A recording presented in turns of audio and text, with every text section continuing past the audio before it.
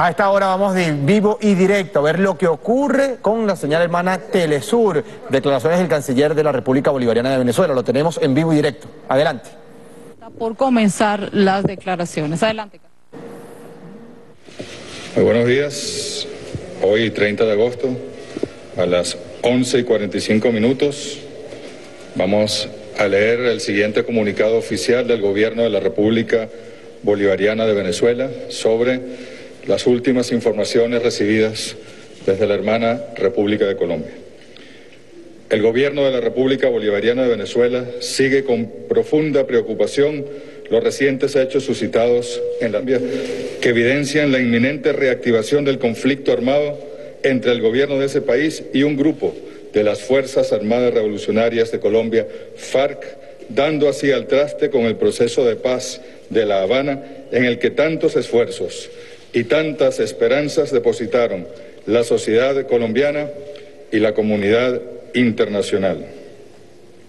Son públicas y notorias las calculadas y arbitrarias decisiones tomadas por Iván Duque que derivaron en inconcebibles maniobras institucionales que, lejos de generar confianza y seguridad jurídica en el acuerdo de paz, motivaron la negación de las garantías necesarias convenidas, burlando así abiertamente los compromisos adquiridos y amparando distintas modalidades de violación sistemática de derechos humanos, incluyendo centenares de asesinatos selectivos de excombatientes y líderes sociales.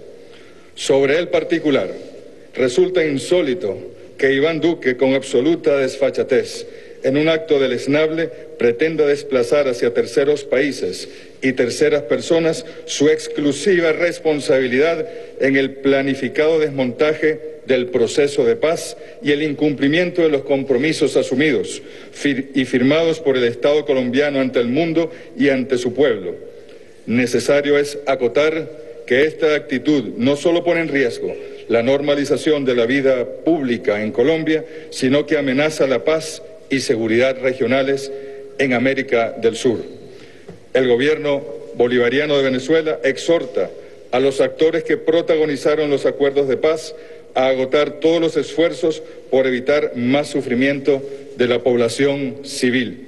En este sentido, Venezuela está en consultas con el resto de los países acompañantes y garantes del proceso de paz para trazar estrategias inmediatas que permitan el restablecimiento de los contactos entre las partes.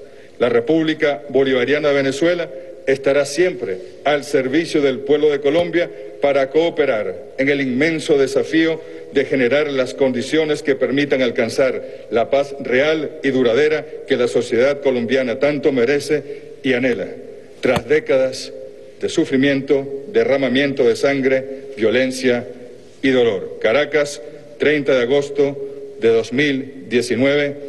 Que viva Bolívar, que viva la paz. Muchas gracias.